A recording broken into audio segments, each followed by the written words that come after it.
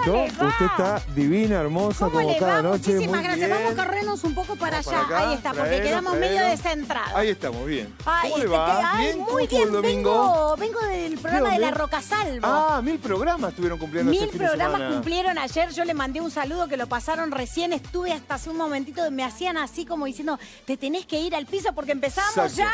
Bueno. Vivo para vos. Hoy tenemos un montón de cosas. Es cierto. Primero tenemos a mi amiga Nancy Anca, que ya la tenemos acá en el piso. Llegó más tarde la conductora que la... Invitada. La invitada. Pero yo la atendí, la recibí, le ¿Estuvo dije hablando? en su nombre, le dije sí, no diga que usted la atendió porque fuera de contexto queda raro. No, es cierto, Pero bueno, es cierto, empe- pero sigamos bueno. con esta historia. ¿Quién más tenemos de invitado hoy? Sandra Villarroel, vamos a hablar de todo. Aparte, ella se está dedicando a algo que yo estudié también. Apa. Sí, a mí en la Yo lápiz, leí el título y dije, me gusta que me lo vaya a explicar, pero me lo van a explicar las dos entonces. lo de bioneuroemoción. Sí, ¿cómo eh, bio- a mí ¿Usted- en la lápida usted sepa. ¿Cuánta cosa ha hecho usted, papá Leo diga? Ella estudió. Sí. Ella estudió todo. ¿Cómo, ¿Pero cómo se llama? Bio, lo que vamos a aprender hoy, a ver No, qué es es. biodescodificación, pero está basado en la bioneuroemoción. Sí, yo estudié todo. ¿Y qué sé? ¿Qué decía? El doctor, el doctor se fue, El doctor pero se nos fue. dejó algo. Nos dejó cómo funciona el INVAP, un instituto que genera tecnología para nuestro país en Río Negro, en Bariloche. Qué ¿Estuve bueno bien? eso, sí, claro, porque además se fueron a Bariloche y hicieron de todo. De todo, de todo. ¿Y qué viene? Sandra, ¿con qué viene hoy? Sandra hoy nos va a contar la, eh, una historia de una escuela Sí. eh, que está fabricando en la ciudad de Buenos Aires. Sí. Algo para medir el, dióxido de carbono en las aulas. Algo, algo que el gobierno creyó que no era necesario poner en las aulas, pero la propia escuela, Mariano Acosta, lo está produciendo. Los chicos lo están Ah, produciendo. porque en la ciudad dijeron que no, pero en provincia lo compraron. Bueno, estamos con... Después vamos a hablar Bueno, no importa, qué sé yo. Bien. Eh, ¿Qué Mariano más? Costa eh, lo, va, lo están haciendo en, en ese, Sí. en ese colegio. Y otras escuelas interesadas hoy van a enterarse Ah. cómo pueden contactarse para tener eso que mide cómo se está ventilando un aula, por Perfecto, ejemplo. así ¿Está que bien? tenemos de todo. Ya vamos a empezar con este programa maravilloso. ¡Ataque la manzana! Tenemos a nuestra primera invitada, la señora Nancy Anca. ¡Adelante! ¡Ay, Bienvenida. qué hermosor! ¡Qué divina! Hola Nancy, ¿cómo estás? ¿Todo bien? Muy ¿Cómo bien, va? chicos. Estoy atrás. Ah, me toca a mí ahora. No mentí, que llegaste primero vos al piso que... que- Es verdad, doy fe. doy fe. ¿Cómo le va? Muy bien. ¿Cómo la pasaste en la bien. pandemia? Mira, la verdad es que eh, la pasé bien. A mí no me. No me molesta estar en mi casa. Tal vez lo que sí me, me generó un poco de angustia era esto de no poder salir, ¿no? de no tener la libertad de salir. Pero estar adentro de casa no, no me generó conflicto. Soy de estar adentro de mi casa. Y creo que a mí la pandemia lo que me, lo que me generó primero fue como, como una cuestión eh, bastante filosófica en, en la reflexión. Sí. De decir, qué groso, ¿no? Nos está pasando a nivel mundial. O sea que este bichito nos viene como a anunciar algo, ¿no? Esto de, bueno, abramos la conciencia, esto de, de que todo el tiempo se decía, si se cuida uno, cuida al otro. Eh, pasamos tiempos muy difíciles y también teníamos que poner mucho a disposición la generosidad, la solidaridad, eh, de estar también, ¿no? Atento al otro. Entonces es como que yo me lo tomé desde un lugar muy reflexivo y profundo de abrir una conciencia nueva también, ¿no? Pero en lo personal eh, y un poco relacionado con esto de abrir la conciencia, a mí me sirvió, por ejemplo, para, para empezar a manifestar algo que estaba como muy dormido adentro mío, que tenía que ver con el componer, con la música. Ah. Yo siempre fui intérprete Sí. y sigo siendo intérprete básicamente, pero tenía como algo dando vueltas que me tenía que animar en algún momento a, a poder crear mi propia música. Y la tenía tan mitificada la música que yo sentía que ¿Hiciste cualquier cosa que hiciera... ¿Por dónde? Eh, lo que pasara en el momento, de, de amor, de, no sé, de, de- reflexión, de, pensamiento, de, de poder sacar lo que, lo que uno tiene adentro, ¿no?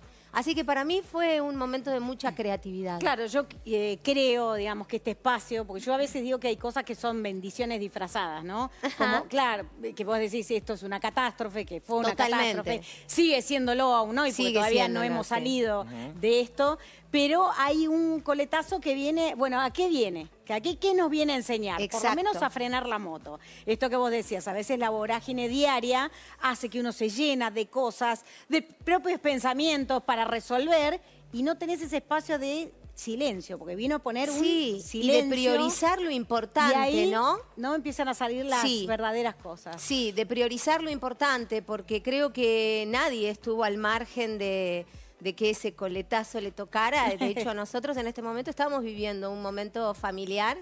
Uno de mis hermanos contrajo COVID y desde el 13 de mayo está internado y ahora está en los arcos, recuperado, sin respirador. Este, Qué bueno pero es. Estuvo con respirador en estuvo terapia. con respirador. En este momento Julio me está mirando, así que le mando un beso. Eh, Y no lo ves desde mayo. Sí, lo vemos, Ah, lo, ¿lo ven? pudimos empezar a ver, así que esto también es como un mensaje de nadie está al margen de nada, ¿eh? Todo, no- todo nos puede pasar. Así que también eh, eso nos hace tomar una conciencia diferente. Qué de bueno. hecho, podemos, claro, aprovechar, mira, estaba pensando en todo Para esto. hablar de Julián. Exacto, porque en el comienzo del programa de hoy, que lo hacemos todos los programas, este, y para la gente que no, se, no, no nos vio ayer, Caro, Claro. que hablamos con el médico de Julián en el día de ayer, que afortunadamente ya está en la etapa de recuperación. Que Bueno, está también en una sala común. Sí. Eh, él no, no tuvo el respirador, Exacto. estuvo complicado, pero bueno, ahora está con la bigotera, que Claro. viste que te internás y ya te ponen la bigotera. Maravilloso. Y entonces ya está en esa etapa final hacia la Sí, lenta vos- recuperación. Vos sabés que esto también, ¿no? El que lo contrae es también eh, eh, es el, el hecho de tomar conciencia de qué es lo importante, porque los médicos a un año y medio de pandemia siguen experimentando Y sí, en cuanto a esto y es día a día, paso a paso. Entonces también lo relaciono con estas frases, viste, que encontrás en Facebook o en Instagram de el presente, el momento. y que la- Sí. Es verdad, loco, hay que disfrutar el momento, cada momento, paso a paso, día a día. Realmente hay que disfrutar y agradecer la vida. La claro. vida es ahora, pero para vos y artísticamente... de paso a paso. Artísticamente empezó hace, no una, Sí. hace un tiempo, ¿no? Hace bastante. Arrancamos con los comienzos, ¿te parece, Caro de Nancy Hasta a que ver, lleguemos a ¿dónde nos lleva lugares. Karin? Nos vamos a ir al año 1982, a los inicios de la carrera de Nancy Anca, cuando debutó en el musical Annie. Y una niña, eh, Nancy, fue junto con sus compañeras, entre las que estaba Eleonora Wexler y Noelia Noto, a Feliz Domingo para la Juventud con el señor Silvio Soldán. Mira. Vamos a ver, nombre, señorita. Nancy Anca, ¿Y qué personaje? personaje skate. ¿Qué? ¿Ya, mm, ¿Vos coincidís con la otra? Sí. ¿Y cómo es? Pícara, revoltosa. Me llamo Eleonora Wexler y mi personaje es Tessie. ¿Y ¿Cómo era de ese? Y Tessie es muy imitadora, mm, se porta bien con las chicas también.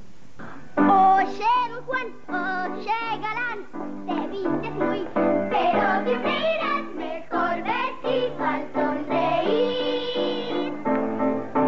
Buen casimir, gran distinción, elegante estás, pero siempre vestido al sonreír. Mi amor.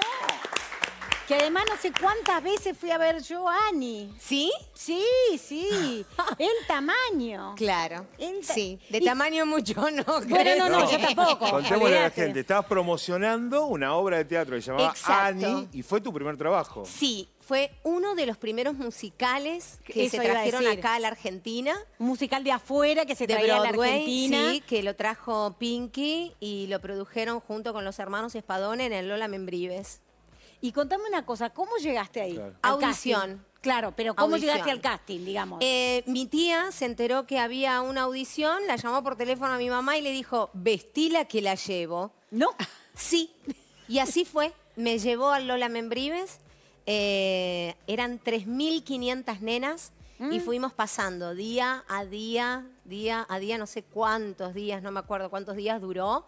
La, duraron las audiciones. Eso quería, quiere decir que en tu casa ya estaba frente al espejo todo el Claro, día cantando, bailando. Claro, No. Tanto como para que tu tía diga, Si no, sacala de acá y llevala a algún lado, no, por favor, no, te chicos, pido. yo desde los cinco años que le decía a mi mamá que yo quería ser actriz y cantante del cine, de la televisión, de la radio, de todo, teatro, todo. Este, Y medio que me creían y decían, ay, sí, Qué qué, lindo. Pero una de las hermanas de mi mamá me lo recreyó porque yo empecé a estudiar música muy chica.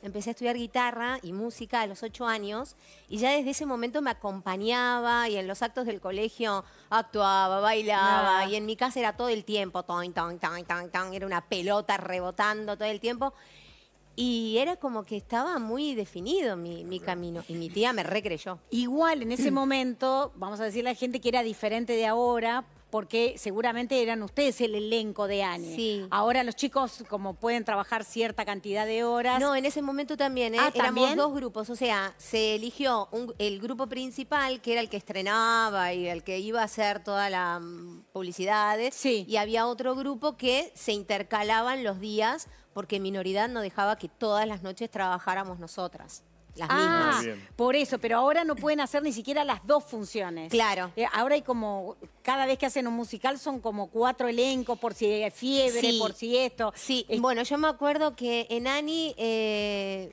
en, el, en el segundo grupo, Sí. yo he reemplazado a, a varias que, que se iban enfermando. Enfermando, claro. Sí, sí, sí, yo estaba sí. como un boy scout. ¡Ay, yo puedo! Ay, me, mi amor. sabía el papel de todo. ¡Ay, yo puedo! Ahora vamos a ir un poquitito después, al año 87, ¿no es cierto, A Karin? ver. Sí, nos vamos a ir a ver Los Copiones, Ah. la comedia de ATC, donde Nancy Anca también cantaba y compartía elenco con Diana Maggi. Mira. A ver quién sigue. ¿A quién copias? Abrí los ojos y la vi. Estaba linda como siempre. Las primeras luces del día la invitaban a cambiar. Aquí comienza el show de Nancy. Aquí concluye el show de Nancy. No tenés nadie que te acompañe. ¿Cómo? ¿Y él? Ese loco. ¿Dónde te quiere acompañar este? Mejor no hablar. Mira la pinta que tiene. Vamos, vamos. No. Ya salió el guardabosques. A la soledad, amor, y vivirá en libertad. Al final siempre terminas cantando vos, ¿eh? Bueno, mañana los espero, ¿eh? No te preocupes, para cuando llegues ya vamos a estar acá. Vos podés llegar más tarde si querés.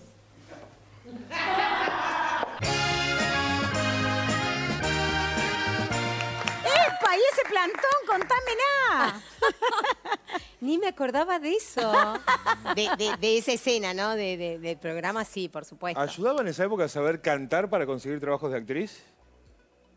Yo creo No. que siempre ayuda Sí. el hecho de ser un tanto completa, ¿no? Eh, creo que es un aporte.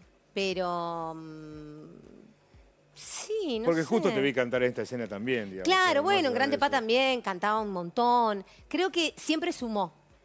Siempre sumó. Claro, si tenés la habilidad, obviamente, Y nena, sí. mostrámela. Claro, sí, sí, sí. De hecho, he, he hecho muchos musicales, o sea que puedo bailar también, o sea que sí, siempre suma. Y una vez que se terminó Ani, ¿no? Que fue algo importante, porque yo me acuerdo que había mucha promoción de eso, había ustedes insertadas, mucha publicidad, todo. ¿Qué pasó? ¿Cómo siguió hasta que van llegando estas cosas? Bueno, en realidad cuando termina, ya antes de que ter- en el final, finalizando Ani, eh, yo arranco a trabajar en ATC, lo que era ATC, lo que hoy es TV Pública. Sí.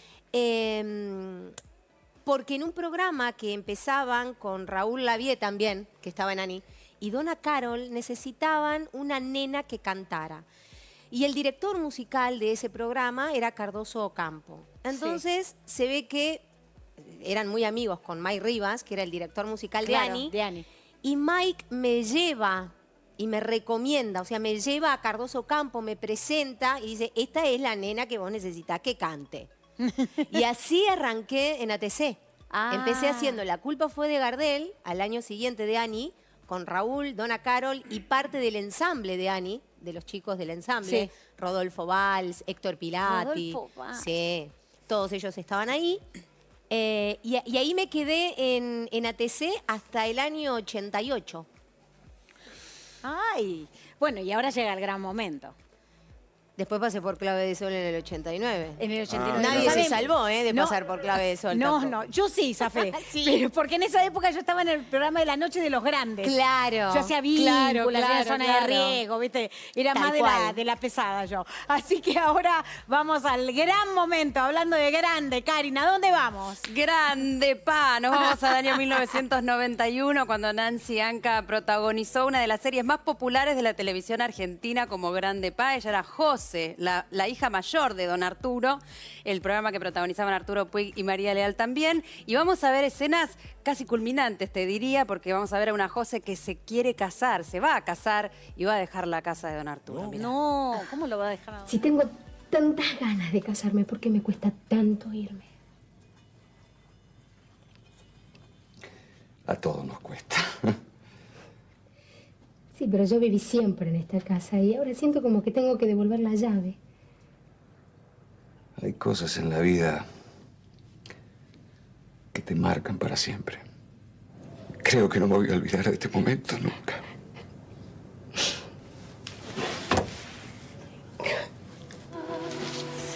don't have to be afraid of what you are.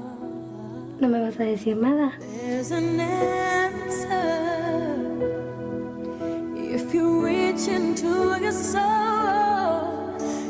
Papá, soltame. Yo, Josefina Arauz, acepto por esposo a Manuel Rivas y prometo respetarte y amarte tanto en la salud como en la enfermedad, en la pobreza como en la prosperidad. Te doy este anillo como símbolo del matrimonio y de amor, hasta que la muerte nos separe.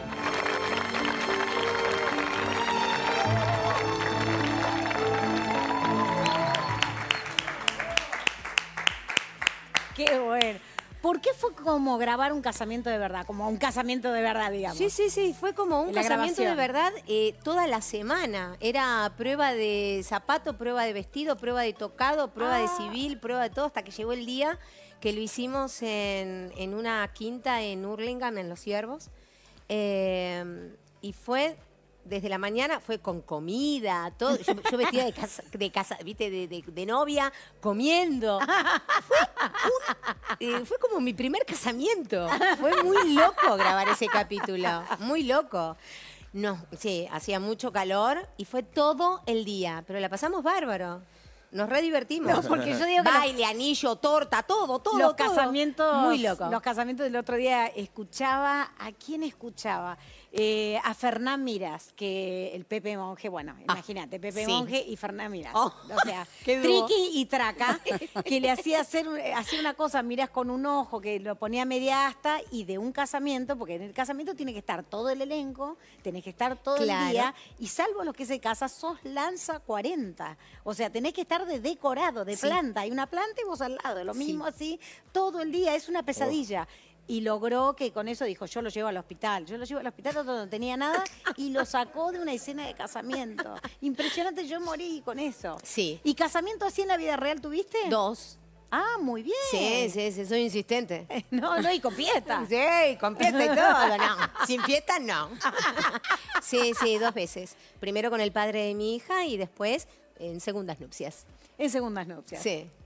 Sí, y sí. ahora eh, volvés. Pero lo que pasa es que la vida personal. Pero ya cerremos esta vida de la parte de vida personal. Quiero volver a Grande Pa un segundo. Ah, pues sí, no, no, volvemos, No, digo, volvemos. dos, Yo de y ahora estás este, en otra pareja donde dijiste, pero me lo vas a contar después, que ahora está todo bien, pero sin convivencia, no más convivencia, Sí, dijiste. exacto. Pero, ¿quieres contarlo ahora? ¿Por qué no más convivencia? un eh, Ah, no, no, no, no, porque quería volver un segundo a Grande Pa. Dale. Quería seguir, eh, porque, digamos, fue un fenómeno.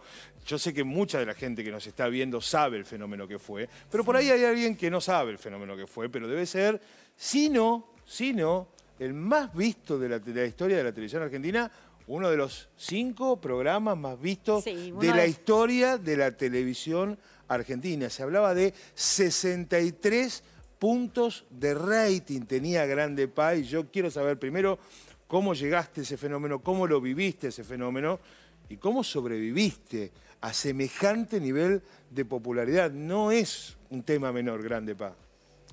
Mira, no es un tema menor frente a la mirada de los demás, pero para mí en ese momento, tal vez porque empecé muy chica, para mí en ese momento, eh, cuando llegó Grande Pa, fue una gran felicidad porque un poco era lo que estaba buscando, ¿no? Tener una continuidad de trabajo. Entonces, también yo venía de una televisión de los 80, en donde conceptualmente era diferente la tele, ¿no? Es como que, no sé cómo explicarlo, como para no, no ser exagerada.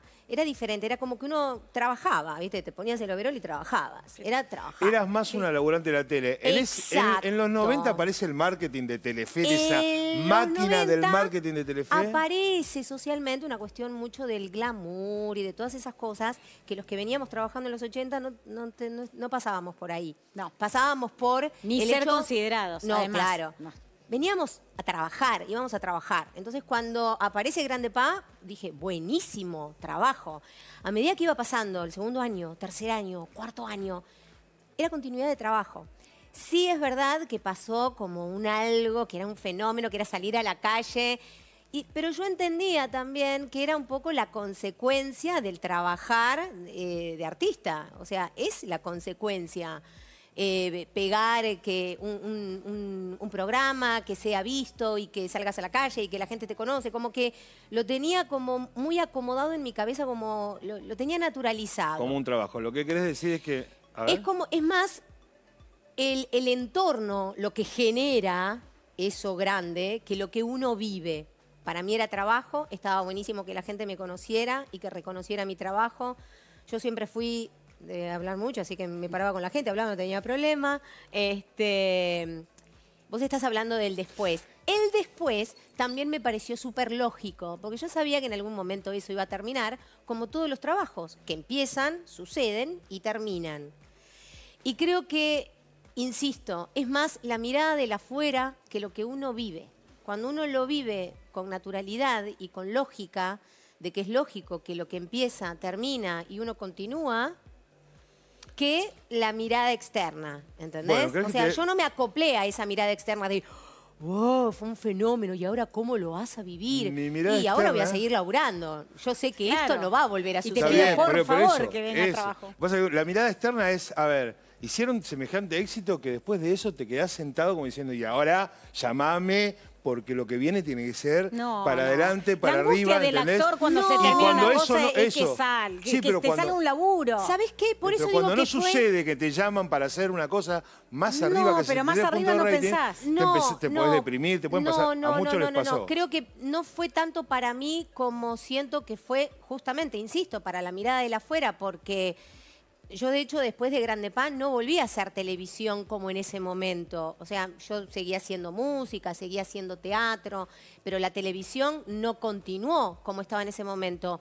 Y también entendí que era como muy, fue, fue tan fuerte lo que pasó, que yo entendía que era muy difícil decir, ¿y dónde la pongo a esta piba que no la relacionen? Claro, que es la chancle. O sea, Eh. también me ponía en el lugar del otro para comprender que lo que había... Ahora no, ahora chicos, Ya estoy está, abierta, amor, ya ya, está, fue. ya pasó. Pasaron chancle. 30 años, ya mi está, vida, Claro, no, ya claro, hola. terminó, ahora podrían levantar el teléfono y decir, ay, vamos a llamar a Nancy. Sin embargo, ¿sabés que existe? ¿Dónde está mi amiga?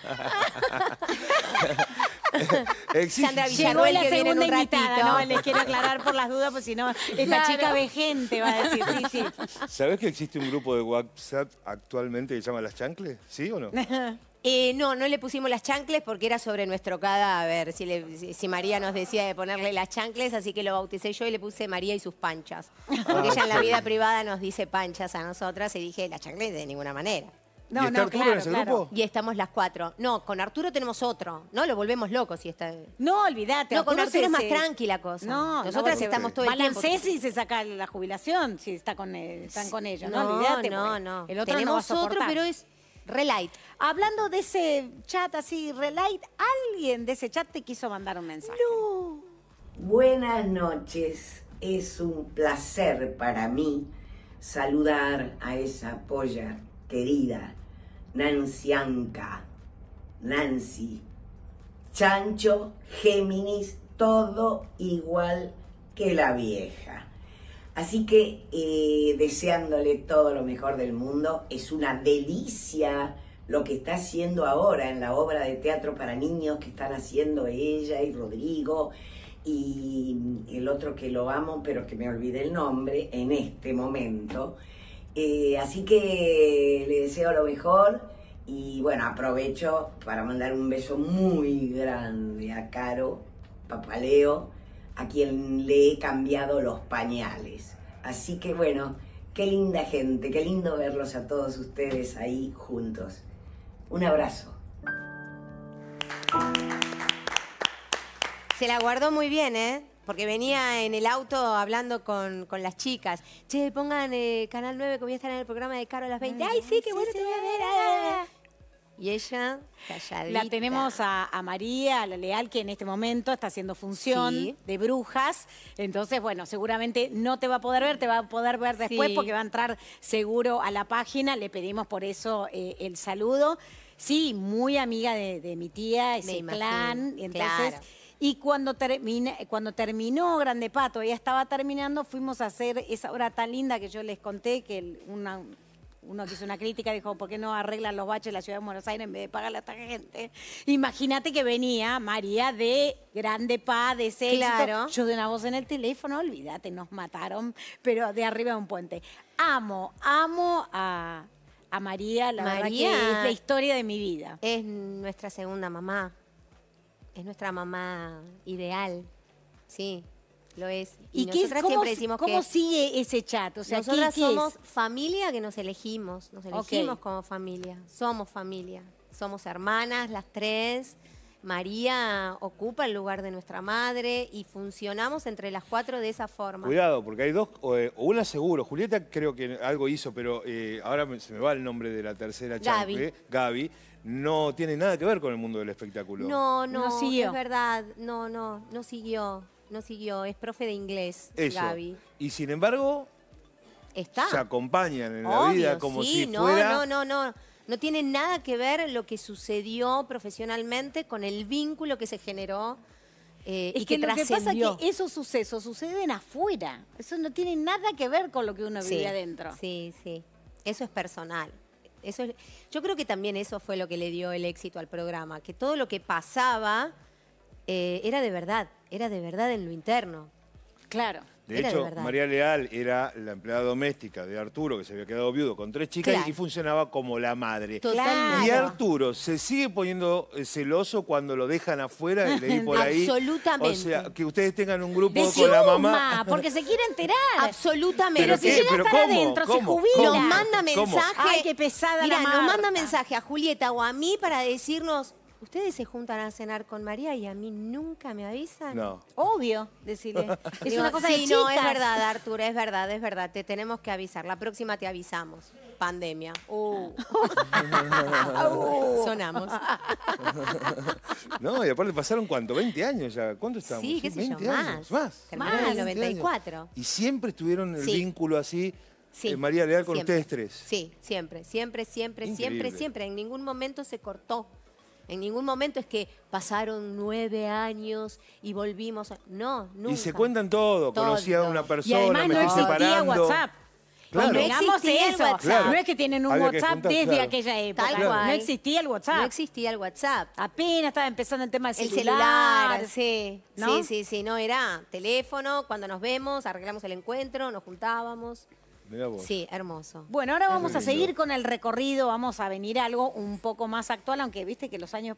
Pues yo tengo un problema, vos sabés que del, del 2000, yo no sé, como que dejé de contar, no mi edad, pero hay los hechos me parece que todo ocurrió ayer. ¿Qué se le va a hacer? ¿A dónde nos Ocurrió. llevas, Karin? A ver. Nos vamos al año 2009-2010 con la telenovela. Herencia de Amor, Ah, donde Nancy Anca participó, 11 la, la novela protagonizada por Sebastián Estebanés, donde Nancy y Sebastián van a salvar, van a defender a, ¿A su quién? sobrina de Ah. un villano terrible, No. interpretado por Emilio Bardi, mira.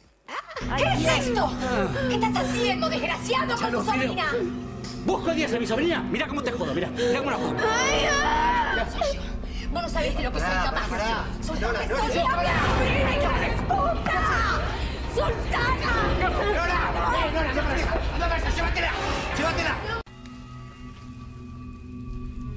Basualdo. Basualdo, ¿estás? Tardé un poquito porque me quería poner linda, ¿estás?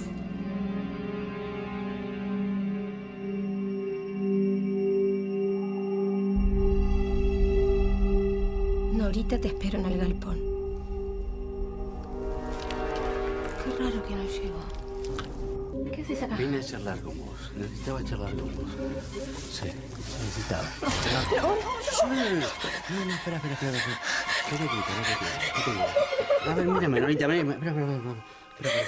No te muevas, no te muevas, no te muevas. No, no te muevas. toques, hijo de puta! ¡Toques,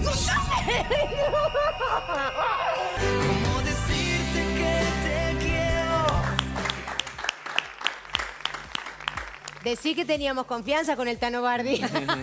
Más bueno que Lassie, siempre le toca Ay, de sí, violador. Sí, y es más bueno. ¿Siempre le toca de violador? Sí, sí, sí. siempre sí, le tocan sí. esos personajes Así sí. raros, de medio trampo. Sí, a mí tal me, cual. sí, me quiso violar también en un vínculo. ¿Viste? Sí, sí, sí, sí, sí. A mí me cortaron ese, ese- pero Sucedió. sucedió. Más bueno el Tano. Divino. Y eso va llegando eh, después, por supuesto, llega años después. Sí, porque esporádicamente hice participaciones que estuvieron buenas, este, eh, en, en telenovelas, en programas, en Telefe mismo, y hice participaciones que estaban buenas. Que ¿Y cómo, lindas. ¿Y cómo te llevas con eso? ¿Qué, qué compromiso hay? ¿Vos crees que eh, tenés más eh, como dominio por, por, por poder hacer más cosas vos con respecto a la música que con respecto a lo que es la actuación? ¿Te es más fácil, o sea, podés producirlo vos o conseguir quien lo produzca? No, no sé, no me lo puse a pensar nunca porque no soy de ponerme a. No, no me pongo en el lugar de productora. Nunca fui productora. Nunca produje algo mío. ¿Tenés Sí. dos discos o más? Tengo dos discos. Dos discos. Sí. Ok. Eh, mm, pero no. Tal vez es más fácil la actuación porque es como. eh, en realidad es mi profesión de base. Sí. Es, eh, es la, la- es la profesión que me sostiene. Y es la que también le ganó terreno a la música. Porque la verdad es que yo cuando empecé, empecé porque quería ser cantante. Y la Ajá. actriz acompañaba. Y Ajá. después se empezó, empezó a ganar campo la, la actriz. Porque se presentaba mucho más trabajo de actriz y era mucho más simple Sí. que el generar la música. La música también aparece gracias a Grande Pa. Claro. Este, y ahí puedo profesionalizarme. Claro, pero yo me como- acuerdo de eso, ¿viste? como Era como. Nancy Anca, que yo la tenía como actriz. Exacto. Que cantaba, pero como actriz, que dice, bueno, me quiero dedicar más al tema de la música, sacó el disco y dije, viste que vos vas Sí. diciendo, ah, bueno, ahora se dedica a la música. en, en- en lo, en lo interno, en mi mundo interno, yo empiezo, este, empiezo mi profesión porque quería ser cantante, Cantante. más que actriz. Pero la actriz le ganó terreno. Le ganó terreno porque se empezó a manifestar más trabajo como, como actriz. Hasta que en algún momento se eh, pude desarrollar eh, a la cantante. Y es algo que a mí me acompaña siempre en la vida, hasta que ahora, por ejemplo, con esto de que me puse a componer y hoy la música se puede hacer también desde otro lugar, no tenés la presión de sacar un disco, sino que podés ir sacando sencillos, ¿no? Tema por tema, y tenés tiempo para hacer la producción y tenés plataformas para subirlos. Es como Eso, no necesitas más una discográfica No también, necesitas claro. la presión de una discográfica, la presión de un productor, la de presión de, sacar el disco físico, Claro. Sino que también lo podés hacer vos y también tenés la libertad de elegir qué. En Y creo que también estaba esperando un poco ese momento, de tener la libertad de, de- de- de expresarme en, en lo que a mí me gusta, ¿no? Sin tener esa presión de que alguien te diga, no, mejor vos tenés que hacer por acá, por porque acá". esto es lo que está sonando en este Sí, momento. ¿qué Y a mí no me importa lo que está sonando en suena? este Suena el momento. No, sí, pero te timbre. conviene hacer Claro. esto. Y vos decís, bueno, está bien, Ah, bueno, dale. Claro. Para mí la música eh, es eso, ¿entendés? Es un- una libertad absoluta desde, de- desde el alma, desde el corazón. Puedo actuarte todos los personajes que quieras, pero cantar, necesito cantar lo que me gusta, lo que me resuena en el alma. Y para hacer teatro infantil, que además es lo que después nos vas a contar, porque estás haciendo ahora y demás, hay que cantar. Pero primero vamos a ver cuándo empezaste a hacer teatro infantil, por qué, pero de- con este momento, Karin. Sí, porque arrancamos con Annie, con una Nancy chiquitita y queremos compartir ahora algunos fragmentos de, eh, de obras teatrales de, para los niños, infantil. En este caso vamos a ver algo de La Bella y la Bestia, de allá por el 2012, y de Hansel y Gretel, que hacía de una bruja mala. Ah, ¿por Me voy qué? a presentar, mi nombre es Bella. Y lo que más me gusta hacer, ¿saben qué es? Leer libros. ¿A ustedes les gusta leer libros? Leer libros está buenísimo. Está buenísimo porque nos desarrolla la imaginación y nos fortalece el corazón. Los libros nos enseñan y nos transportan a lugares increíbles. Tráeme mi receta. ¿Qué receta? La de la tarta venenosa. Cocinaré mi venganza. Toda la comarca va a probar mi pastel y les dolerá la panza y así comprenderán quién manda acá. Yo soy la dama del mal, dueña y señora de la oscuridad. Hechizos, embrujos, amargos, conjuros son mis recetas de gran calidad. Arde mi hoguera con mi fe. Qué bueno, qué linda escenografía. Sí, re linda, re linda, re linda. Durante muchos años estuve con una producción haciendo infantiles y después con otra que se desprende de la primer producción. Y las escenografías siempre fueron muy lindas. ¿Y cómo con mucha llegaste ahí? seriedad. Cuando terminé Grande Pa. Ah, al año. al sí, año. sí, sí, sí. Eh, Maricé Sí. Monteiro estaba buscando Maricé, claro. una actriz que hiciera Cenicienta, que él- ella estaba trabajando con un productor que eh, salía de gira y María le dice, pero llama a mi Claro, chancle, que claro. canta, baila, A mi pancha. tal- no, a la chancle. En ese momento fue a la chancle. Este, y le dijo, ay, cierto, es verdad. Y así arranqué con esa producción y hasta el 2014 hice infantiles de gira, recorriendo todo el país. Mirá vos. Fue re lindo ese trabajo. Somos varias, le vamos a mandar un beso a Maricé Monteiro. Sí, Somos varias que la empezamos reina el teatro de niños de la mano de ella. Sí. Y ahora no solo nosotros preguntamos, la gente también pregunta. ¿Qué? Vamos a ver qué te pregunto. Hola Nancy, ¿cómo estás? Ahora que estás haciendo teatro infantil, ¿dirías que el público de los chicos es más o menos difícil que los grandes? es más difícil. Lo cual me encanta, es un gran desafío, porque tener a un niño atento la cantidad que dure ¿no? el, el infantil es súper difícil. Sí. Entonces, cuando te das cuenta que, no sé, se paró, se sentó, hacen ruido, hablen, qué sé yo, ahí tenés que rápidamente empezar a captar nuevamente su atención. Ahora, cuando ves que, no, atrás, sí, arriba, ey", decís, wow, buenísimo, logré el objetivo. Cuando los tenés atentos, sí, es el más difícil, es el público más difícil. Y sí, mí. porque uno grande la tiene que caretear, uno va al teatro, uno Le- mismo. lees un embole y decís, un bueno, y decís, bueno. ¿qué voy a hacer? Y encima tengo que ir al camarín y decirle que divino lo que hiciste. No, no, no, no, no, no. claro. Hablo del público. No, no, no, no. Yo como compañera cuando voy a ver una obra de teatro que mi pareja me dice, no te puede parecer todo lindo. Sí, sí, porque ya el hecho de estar ahí arriba, de invertir, de generar una- un espacio de trabajo, hace que uno pueda dar un- una devolución Claro noble sí. al compañero. Además, es imposible que un espectáculo que uno vaya a ver algo. Totalmente. O sea, no puede ser que nada, Nada. eh, tenga Sí. excelencia. Vos, Claro. Qué lindo vestuario que tú dijiste. Sí, algo. sí. Al- algo siempre hay para rescatar. Y también, a mí me pasa ya con los más allegados, que le digo, che, fíjate. Es- eso es diferente. Y sí, Ya porque, cuando alguien porque que- en realidad el teatro es un proceso. Y sí. Entonces lo lindo del proceso es que, bueno, puede no salirte el día del estreno. Exacto. Y tenés tiempo de ir buscando a ver a- hacia Totalmente. dónde. Lo que pasa es que cuando tenés confianza con la persona que vas a ver, ya tu diálogo es más, eh, Eh, sí, sí. más íntimo, Sí, más claro. privado. Y ahora, concretamente, vacaciones de invierno. Y ahora vacaciones de invierno en el Teatro Multiescena con Rodrigo Noya, Cristina Maresca y Belén Di Giorgio. Estamos haciendo La Brújula de los Sueños. Eh, ahora, a partir de mañana, arrancamos a las 13.30, pero vamos a seguir todos los fines de semana de agosto, sábado y domingo, a las 15 horas. Y Claro, porque antes el teatro para niños, después de las vacaciones, eran, un par de fin de semana y chau porque venía el calorcito. Claro. Ahora, como te hemos corrido los Sí. el tema de- del invierno, el verano y todo, se puede seguir haciendo Sí, perfectamente. sí, sí, sí. Así que nos confirmaron hoy, justamente hoy. Ay, pero sí es la chica. Ay, Sonsa. Mm, traigo suerte.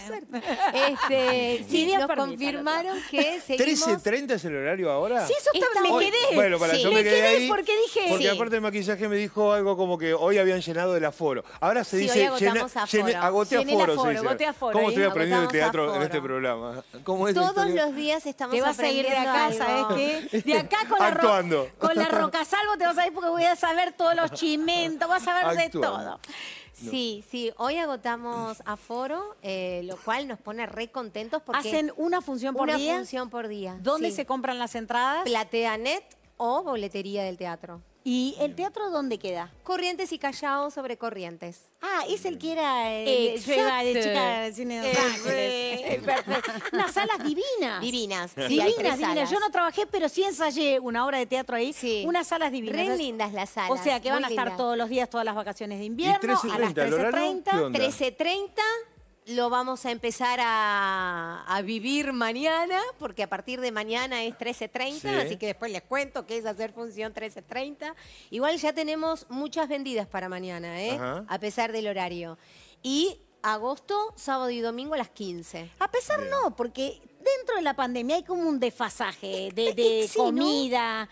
Sé, yo Como cosas que muy extrañas se me han pasado No, pero ver, pandemia. 13.30, si más o menos te- los chicos se levantaron tarde, hasta que armaste todo, llegaste al teatro, fuiste y todo, después una meriendita después del, del teatro y Un ya los, los traes de vuelta, los traes de vuelta a la casa. Me lo imagino así, no tengo idea. Sí, o vas a comer antes y después vas al teatro. Ah. Bueno, gracias por haber venido, Ay, no, ¿eh? chicos. Un Muchas placer, gracias. un placer hacer ese gracias. recorrido.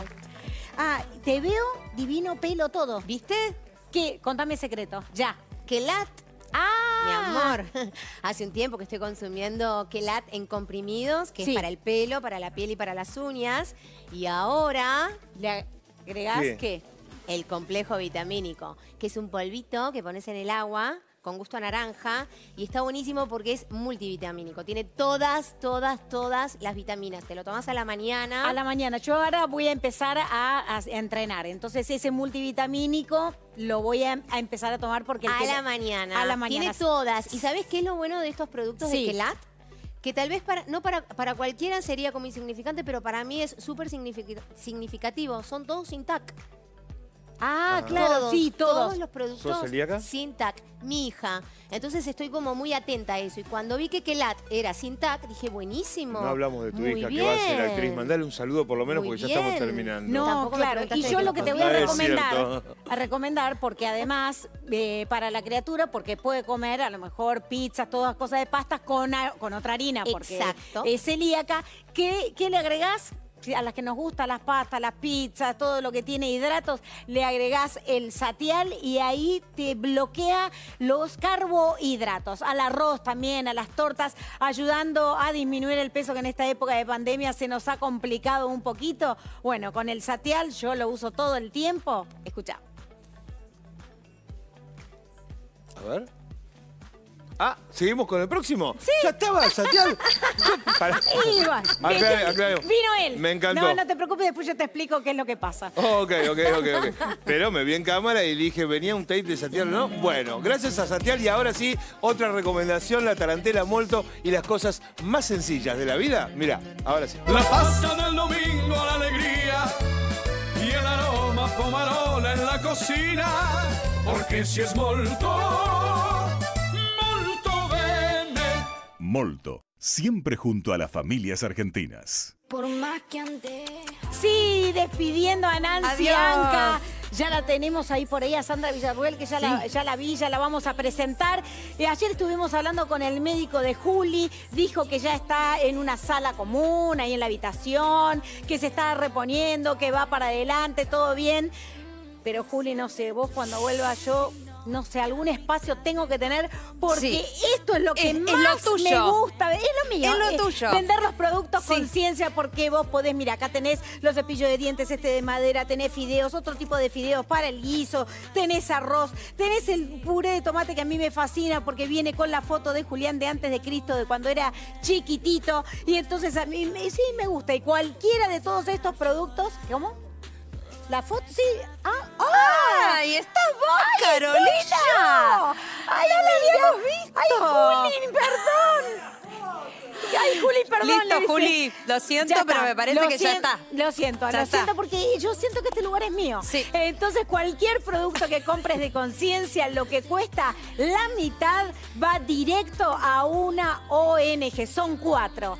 Y acá Karin se la sabe de memoria. Ruta 40, Techo, Fundación Huésped y la Asociación Cooperadora del Hospital de Niños. Claro que sí, también tenemos todos los trapos de Todos los piso, trapos rejillas, multiuso de todo claro, para la cocina, para el baño. Tenemos la pintura y mi preferida, que es la bici, que cuando yo le pregunto a Juli, ¿dónde tiene la batería? Acá, me dice, tiene batería y la grande, bueno, ya la grande ya, Sí, ya va a va a llegar, venir en ya algún momento. llegar. Así que acordate cada vez que compras algún producto de conciencia, ahora con la cara de, la cara de caro, cara de caro, eh, donás el 50%. Así ¿Dónde lo podemos encontrar? En el Instagram, voy a decir el Instagram así, arroba conciencia-ar o en el Instagram de Carolina Papaleo, que es arroba Carolina Papaleo, o en el de Julián Weich, arroba Julián-Weich, en el de Karin Zavala, en el de Sergio Sniek, Sandri Helka y en el de Claudio, que es claudio.pérez ok. Ay, pero como loco. Bueno, y ahora Claudio, vamos a ver qué está haciendo. Lo que es solo como loco malo. Gracias, Karin, gracias, Caro. No, ahora te vas a venir conmigo.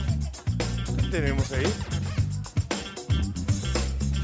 Hay una barrida con las recetas sí, del dog. la porque- receta del doc, porque el doc se nos fue. Sí. Entonces, no, De fue. vacaciones.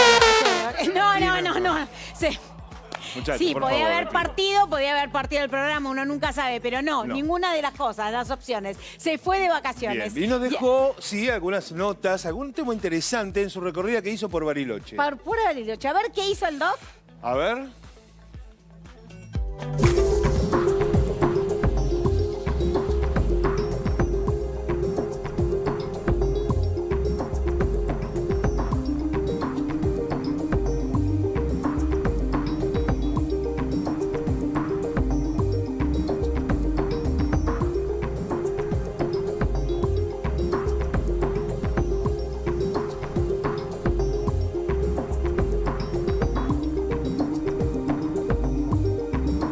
En INVAP, acá en Bariloche, se piensan, se desarrollan y se fabrican muchas de las cosas que vos día a día usás en tu quehacer diario y que ni siquiera sabés que se hacen acá. Hoy vamos a conocer eso, pero nos vamos a centrar específicamente en el área que tiene que ver con radares, con defensa y con clima. Acompáñame y vamos a conocer cómo es por dentro.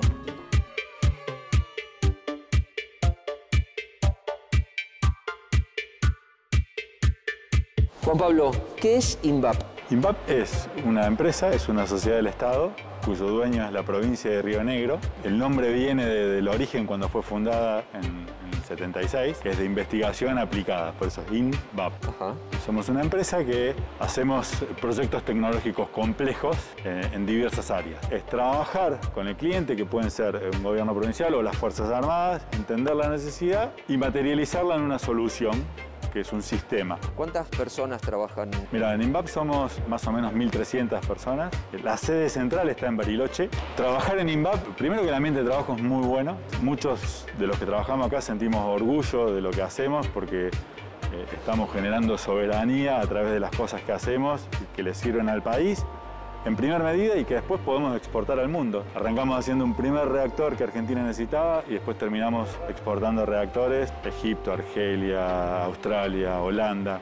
¿Qué más se hace en INVAP? INVAP tiene cuatro grandes divisiones. Una es la nuclear, que es la más vieja, la espacial, defensa y seguridad y ambiente, que es en la que estamos ahora. Y una de nuestras divisiones es la de centros médicos y hemos desarrollado y construido centros médicos llave en mano, centros para tratamiento de cáncer o diagnóstico por imágenes. De esos centros exportamos a Venezuela y a Bolivia y todo el personal que opera los centros en Bolivia fue entrenado en el centro que se construyó aquí en Bariloche. Eh, Acá donde estamos es donde se hace la integración a nivel sistema de los radares, básicamente. Uno arranca en el laboratorio, que está en el edificio de aquí al lado, donde se fabrican los módulos y esos módulos luego son integrados en este tipo de racks, por ejemplo. Como una gran computadora. Es como una gran computadora. Esta es la electrónica de un radar. Eh, estamos poniendo en marcha un módulo que es para el receptor del meteorológico. Esto se comunica con otro aparato que está dentro de un radar meteorológico. Sí, para hacer ensayo funcional. Mi área eh, lo que hacemos son los ensayos funcionales de las electrónicas que forman parte de los diferentes radares que tenemos acá y lo que hacemos es con estos sistemas de simulación probar el radar en un escenario lo más realista posible para que después en campo cumpla su función correctamente. Tenemos un software que es un software que realiza la simulación Y si no lo encuentras porque ese radar no está funcionando bien. Claro. En este momento estoy haciendo la puesta en marcha de un módulo digital, parte de uno de los sistemas de radar que se desarrolla en INVAP. Siempre cuando realizamos mediciones utilizamos pulseras antiestáticas, que es un sistema de seguridad, primero de la persona, también de los equipos, ¿Como un cable a tierra? como un cable de tierra. Somos una empresa de, base tecnológica donde uno permanentemente está haciendo investigación y desarrollo. Siempre tratamos de estar en lo que se llama la frontera de la tecnología o hasta, ¿por qué no, ir corriéndola? Entonces, más allá de los proyectos concretos que se están haciendo hoy en todas las áreas que te mencioné, están haciendo investigación y desarrollo para poder incorporar nueva tecnología. Seguro que en un par de años eh, van a estar viendo cosas que hoy se están haciendo.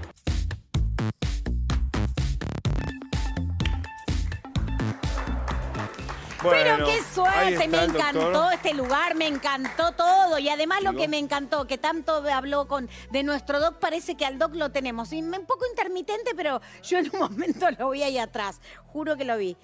En las vacaciones el hombre se conecta para completar la nota que hizo sobre el INVAP, los radares que sirven para la Ahí está, doc. meteorología y para ¿Cómo todo. nos escuchás? Se está achicando la imagen, mira. Doc, ¿cómo va? ¿Cómo están? Bien. Está- Oh, Hola, ¿cómo están? Bien. ¿Está lejos el doc? No sé.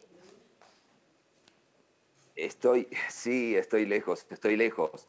Les quería contar que una de las cosas que no, no hay que hacer con INVAP es decir, eh, estuve en el INVAP, porque te corrigen enseguida, porque INVAP no es un instituto, sino que quiere decir investigaciones aplicadas. Es una empresa rionegrina, una empresa argentina, por supuesto, rionegrina del Estado, que como vieron en la nota, los, los que integran la empresa están muy orgullosos de pertenecer a ella, porque exporta a todo el mundo cosas que tienen que ver con lo que hacemos nosotros, con la tecnología que nosotros vemos todos los días.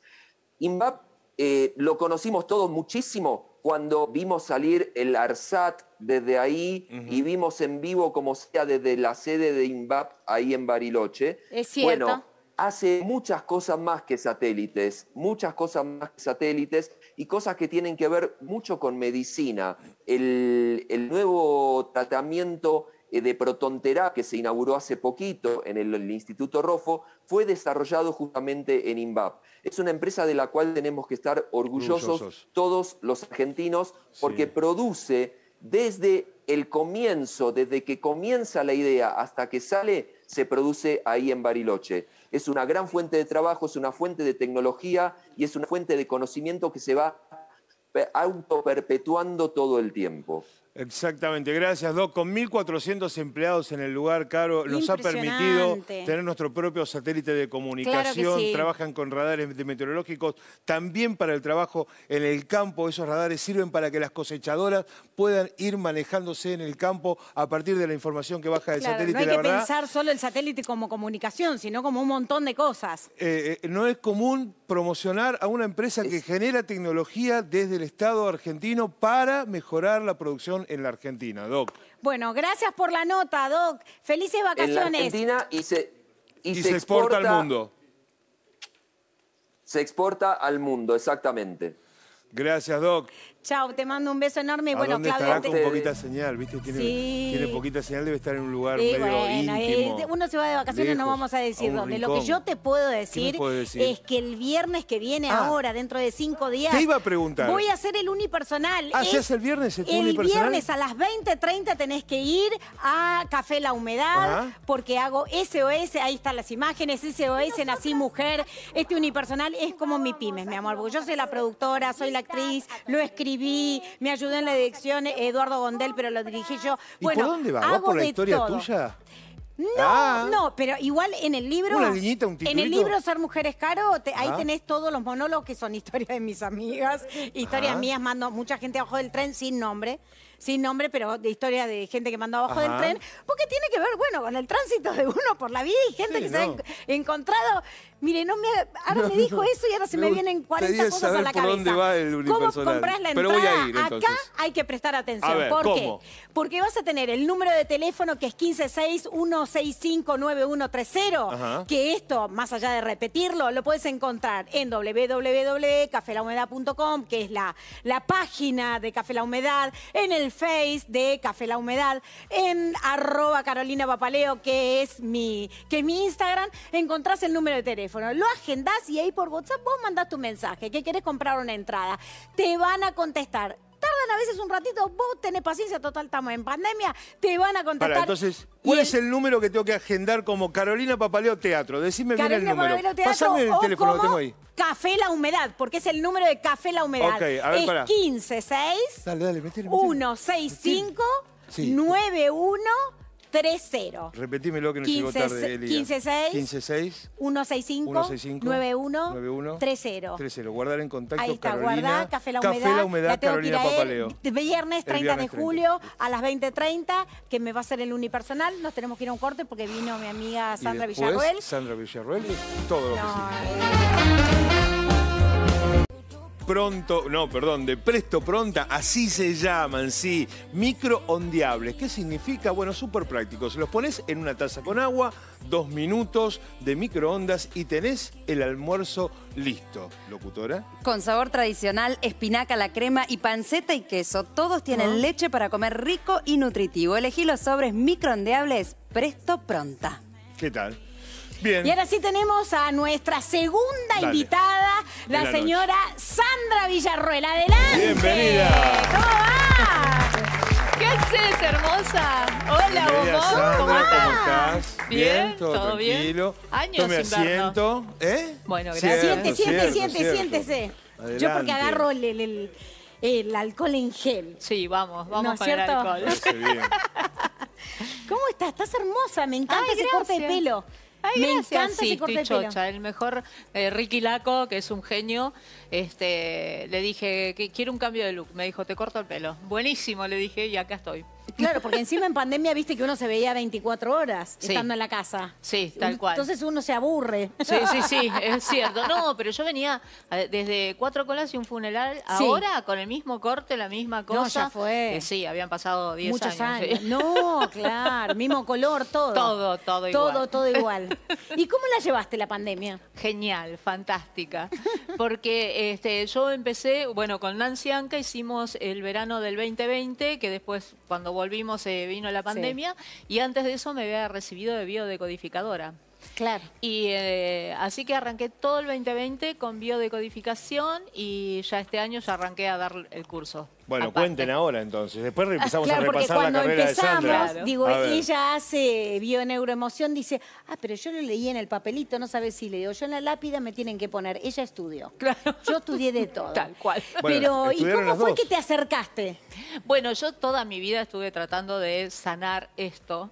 Claro. de una infancia bastante picante y entonces este, siempre estuve. Primero me acerqué a los ocho años a la religión, fui a todas las religiones a vida y por haber. A los 13 me cansé y después en, en la década de los 90 dije voy a hacer terapia. No, eh, ya estaba, estaba haciendo el programa de Porcel y empecé terapia. Y después de terapia, en los 90, viste que vino este, PNL, regresión, hipnosis, todo hice. No estudiando, sí como, como clienta. Claro. Y, eh, y seguí. En esa búsqueda. ¿Viste cuando te dicen tenés que perdonar, tenés que sanar y decís, que, bueno, sí, sí, perdono, bueno, bueno, y por allá atrás decís, me acordé, me acordé que me hizo, ¿viste?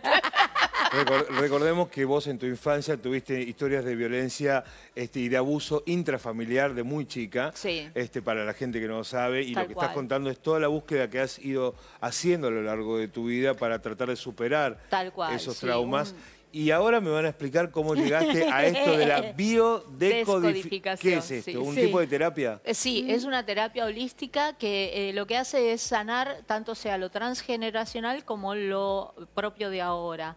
¿Desde dónde? Antiguamente se usaba, antiguamente hace muy poco, desde el árbol genealógico, pero si lo hacen, por ejemplo, conmigo y me dicen, decime quién es tu tía, tu tío, tu esto, todo lo otro, no tengo la menor idea, o sea, no me hubiesen podido atender. Sí. Y a partir de, de que se dieron cuenta de eso, lo empezaron a usar eh, a, a- a tratar a partir de la emoción que vos estás viviendo hoy.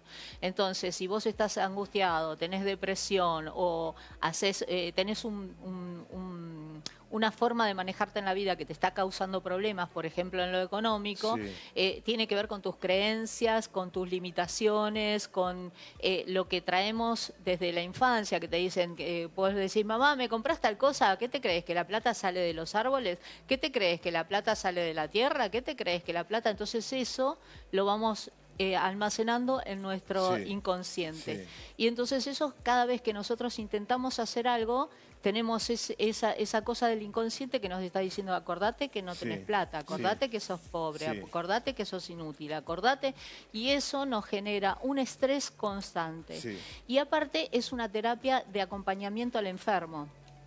Que fue fantástico. Yo lo vi con los dientes con lo que me arreglo, que Taucedo le dije, decime cuáles son los numeritos de los dientes que me arreglaste. Yo hice lo mismo con el Sí, dentista. ¿viste?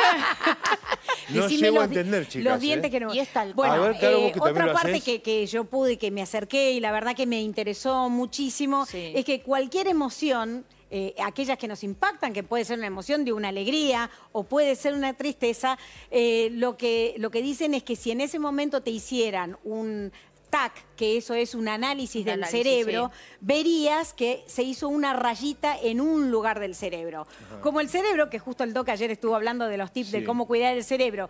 El cerebro, no todo el cerebro maneja todo el, cuer- el cuerpo. Viste que hay determinados lugares Sí. que maneja o las extremidades inferiores, las superiores, o de repente el habla, el lenguaje. Entonces, esa emoción se- donde se hizo esa rayita se corresponde a algún lugar del cuerpo. Entonces, a lo mejor a vos te empieza a doler el brazo o te quebrás o algo donde el cuerpo te está avisando que hay un golpe emocional que vos recibiste que tenés que resolverlo y ahí se va a resolver el problema que tenés en el cuerpo. Porque el emo- porque entra por la claro. emoción. Porque cada, cada eh, parte nuestro de nuestro cuerpo tiene que ver con alguien de la familia, del árbol. Por ejemplo, eh, tenemos la- el lado izquierdo, ese eh, pertenece al padre y el lado derecho a la madre. La economía, por ejemplo, si te falta el dinero, tiene que ver con el padre y si te falta el trabajo, tiene que ver con la madre. ¿Entendés? Y es Tal cual, es tal cual. Por ejemplo, si tenés, eh, nuestro segundo cerebro es eh, la parte de, de digestiva, todo lo que es nuestros intestinos. Viste que a mí me pasaba que por ahí me daban una mala noticia por teléfono y automáticamente Te mi la panza hacía panza. paf y era pinchazo, pinchazo, pinchazo, hasta que descubrí esto que yo no sabía por qué era. Se me inflamaba la panza, pero era automático. ¿eh? Y es el estrés que yo estaba viviendo, que viví en la infancia y que lo repito una y otra vez. Eso también eh, la gente tiene que tener en, en cuenta y fijarse, ¿qué estoy repitiendo yo de mi familia? ¿Entendés? Porque tenemos el ADN común y el ADN emocional, que es la IPG, Epigenética. Epigenética. Que además la epigenética tiene que ver con nuestro entorno. Entonces, Exacto. muchas veces nosotros adquirimos, se han, hecho, se han hecho pruebas que, por ejemplo, un entorno puede cambiar el ADN de una célula. O sea, Tal cual. mirá, que dicen el ADN, el ADN, el ADN se podía cambiar de una célula según la epigenética, que es el lugar donde nacemos. Por ejemplo, ahora las mujeres es muy común que tengamos problemas con las tiroides, cosa que antes no existía. Evidentemente, la vida que llevamos, el ambiente donde donde nos, donde la- del tema de la ciudad que puede tener que ver con la polución, con, con un montón de cosas, pero hay algo que estamos todas, casi todas, con el mismo problema. Que antes no existía, eh, después no va a existir, tiene que ver con la epigenética. Mirá vos. Sí. O sea, este, uno llama por teléfono, saca un turno y ustedes eh, con, Te este, con este marco Te decodifican. descodificamos. Bien, a vos pero debe vamos- ser difícil No, descodificar. bueno, Ah, eh, Él tiene problemitas si no- con el tema del corazón. me- ¿Cómo sabe, digamos? Vos tenés problemitas Pero con, este, con porque- formar familia. Tenés un, po- con, con un Ah, cosito porque ahí. yo soy un, un soltero, por eso Claro. dice ella eso. Ahí pero hay un justo le dio miedo. el Ah, clavo. bueno. Hay un Escuchame miedo. una cosita. Vamos a la Sí, vamos a historia otro tema, a otro Villarreal. tema, otro tema. Por favor, vamos a la historia de nuestra invitada, que es lo que, de lo que se trata este Se puso programa. pálido. Me sentí en un momento como con dos brujas digamos, en medio, que empezaron como a pegar y tú decís, pará, vamos Pará, a la pará, historia pará, de la invitada, que de eso se Bárbaro. trata Sí. este programa. ¿Eh? Arrancamos de los comienzos de Sandra y de esas cosas. Dale. ¿Sí? Y al- tranquilo, tranquilo. Vamos, vamos, Carica, vamos a Carica a comenzar a recorrer la. Tomo la el carrera. salvavidas y lo rescato a Claudio. Nos vamos al año 1987, cuando Sandra Villarruel entró a trabajar a las gatitas y ratones de Porcel. Vamos a compartir algunos de esos momentos memorables, como en el sketch de la carnicería o el diariero. Mira.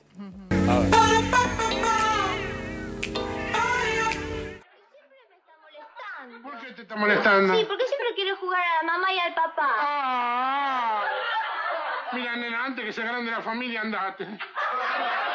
Tómate, la- eh, perdóname, eh, el maestro no se pone nervioso, se queda mosca cuando te no. jugando al doctor, no le tiembla la tiza en la mano. Sí, pone la cara así cuando lo ves hasta Mm. mío. Así se pone furioso. Sí, sí. ¿Por qué llora? ¿Cómo? ¿Por qué? Si me enterraron ayer. ¡Otra vez! Pero usted no gana para... ¿Pero qué cosa? Todo lo manda a la fosa. ¿Cómo fue? ¿Dónde lo conoció? ¿A qué se dedicaba? Cuénteme. El organi organicero. Organillero. No me diga. Y él, él lo vio dando manija y se volvió loco. Claro, lo vi en la puerta del zoológico dándole manija al organito y Y el monito colgando. ¡Ah! ¡Hola, señor Ariel! ¡Hola! ¿Cómo está?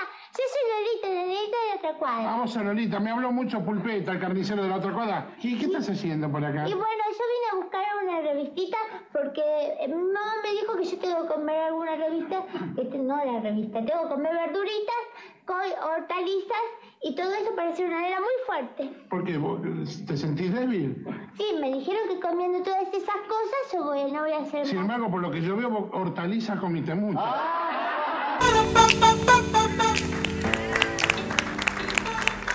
Yo sé que a vos no te gusta mucho el tema del pasado y qué sé yo, pero yo, yo hay algo que creo, que uno en realidad no sería hoy este si en el pasado no hubiese hecho todo ese camino. En real- 100% de es la acuerdo. constru- Uno en la actualidad, que es lo que uno se depara para el futuro, es la construcción de ese pasado. Totalmente. Yo no, eh, en un momento sí estuve peleada, no con el programa, ¿eh? sino con que, uy, una y otra, Otra vez, vez. una y otra vez. Pasaron ya 34 años, ¿me Claro, entendés? hola, ¿qué tal? Y yo digo, claro, pero es algo que gracias a Dios hoy ustedes me invitan porque me hizo conocida por ese, por ese programa. Y eh, soy la persona que soy ahora gracias a todo lo que hice en mi vida. Y eso lo empecé a agradecer porque, mm, porque digo, bueno, es parte de mi historia y realmente eso alegró a muchas personas, eh, muchas niñas. ¿Sabes quién me, me invitaba y, y se recontra enojada conmigo? Sol Estebanés. ¡Ah! El padre Claro, venía y me decía, escuchame, por tu culpa esta nena me saca todo. Claro, claro, porque estaba, bueno, Estebanese era el productor de en ese, Exacto. en ese momento, porque ahí empezó a trabajar Leo Cifeli. Sí. Claro, y, eh, que es amigo mío. Y, y entonces eh, yo sé, sabía esto de, de Sí, Quique. sí, sí. Y las, las nenas y qué sé yo. Bueno, la verdad que me dio muchísima satisfacción y aparte fue un personaje creado artísticamente por mí, pura y exclusivamente. Sí. Entonces eso también es, viste, como decir, bueno, viste, yo no tenía, eh, no tenía mucha experiencia como actriz Y, y la primera cosa que hago como actriz, porque parece ser otra cosa, pero es un personaje muy comprometido actoralmente, eh, eh, para mí fue wow, dije. Claro. Entonces. ¿Y cómo llegaste acá al programa? ¿Cómo, cómo fue Ah, que se una despertó? historia que tiene que ver con mi pasado. Eh, yo Pero ya está decodificado. Vos Claro. te quedaste knockout, ¿no? No, te No. preocupes, la- no, la, deja, deja, deja que la entrevista la hago sola, no, no, te quedaste tranquilo. Perdón, le están contando hasta no. 10, no. se pudo levantar, pero Claro. vos tranquilo, vos recuperate, toma agua, está todo bien, yo charlo con la chica. Claro. Decime, Sandra. Bueno, yo venía de, de- de un, de un momento muy tormentoso mío, tremendo, y le digo a una tía postiza ya fallecida, le digo, este, vámonos, vamos, agarré a mi hijo, le dije, vámonos a Mar del Plata. Y serían los primeros días de marzo. Y me voy a caminar por la peatonal. Yo en ese momento, imagínate la crisis que tenía, que era tos, tos, tos constantemente, pero no tenía catarro, era picazón de garganta Sí. constante. Y, y me fui a comprar el, el aparatito ese Ah, para la... claro. Bueno, entonces este, eh, me cruzo a Jorge Porcel y me dice, ¿qué haces? ¿Cómo estás? Me dice, porque en realidad mi carrera no empezó acá. Yo ya tenía siete años de escenario cuando estuve con, con Ah, esto. claro. Y me dice, Jorge... Vos te- empezaste en La Tuerca, un programa de humor este, de los uruguayos, ¿no era? antes de la tuerca ya estaba, Ah. yo ya estaba en el- yo empecé en el 82 como bailarina en el loquero en la revista con Porcel, Olmedo, Ah. Moria, este, de- estuvieron los Pimpinelas, estuvo, eh, bueno, estuvo un elencazo. Te lo cruzaste en la calle Mar del Plata. Sí, y me dice... Que él ya te tenía, entonces te reconoce, Sí, claro. sí, habíamos hecho, porque yo arranqué como última bailarina de reemplazo y eh, terminé a los, al mes y empezaban una película y me dijeron que te copás en venir. Te copás no, era todo con contrato, cobrando. no, claro. Me hice de extra. Le digo, bueno, ok, y no sé por qué, me dieron letra y ahí arranqué y hice cine, esto, el otro. Bueno, la cuestión es que le digo, bueno, dale. Y eso era en abril, esto fue en marzo, los primeros días de abril. Y viste que no existía teléfono, no existía nada. Nada. Entonces me tenía que ir a pasaje heli. Cada dos o tres días iba para que me dijeran cuándo era la, la- la- la prueba, que ahora sería casting. Y hice siete castings. En uno casi no quedo porque estaba, viste, en los días de esos de, de Sí. la- femenino Sí, y estaba hinchada como un sapo y me dijo, si no adelgazás, me dijo, no quedás. Y, y al ¿Lo final tomaba quedé. el gordo Porcel los castings? Sí, sí, sí, sí. Y, y, eh, eran como cuatro escalones, un- eh, estaba así el estudio, entonces nos hacían subir la escalera y bajar. Y me había enseñado mi, mi ¿En mamá y yo bajaba las escaleras como la mejor. Divina, claro, divina. ¿En ropa interior los hacía hacer eso? No, no, una malla enteriza. Una malla enteriza, sí. Y al final quedé, y quedé como una de las de las gatitas junto con eh, Fernanda Callejón. Era, ella era la gatita blanca, yo era la gatita, no, yo era la- ella era la gatita negra, yo la gatita blanca, y se tiene que ir Graciela Alfano del programa porque estaba con un embarazo ya muy avanzado. Entonces traen este este eh, personaje y el escritor de ese sketch era Corneta. Sí. Que Corneta había sido mi, eh, mi escritor en Perú como yo primerísima figura. Yo ya era Ah. artista internacional cuando estaba Ojo, Corneta. Ya eh. había trabajado con Sisi Lobato y Eber Lobato en Chile y, este, y había sido primerísima figura en Perú que no me dejaban volver. ¿viste? Si me En un espectáculo quedado de revista en Perú. Sí, eh, revista. Y que fui por un mes con Alberto Locati y cuando se terminó el contrato todos querían que fuera de nuevo y así fue. Bueno, la cuestión que Corneta le insistía para que fuera yo y, entonces me dijo Jorge, te, te doy este el, el- el guion. El libreto, claro. Claro, me dijo, sí. Si lo haces bien, Sí, quedás. si lo ven, quedás. Si no- Y si no, dice, te vas a tener que internar en el Fernández para que te saquen el, el zapato del... Del ojete. Pero está, está bueno porque el Fernández queda cerca de la Claro. calle Geli. Ahora, por suerte, Canal 9 lo tenemos acá en la calle de Orrego y ahora vamos a ir un poquito más adelante. A ver, Karina, ¿a dónde vamos? ¿A dónde vamos? Nos ¿Qué vamos sorpresa? a ir a fines de los 80 porque Sandra Villarreal llegó a las comedias de Darío Vittori y entonces queremos compartir este ciclo de humor por el que pasaron grandes artistas del humor argentino y también estuvo Sandra Villarreal, mirá.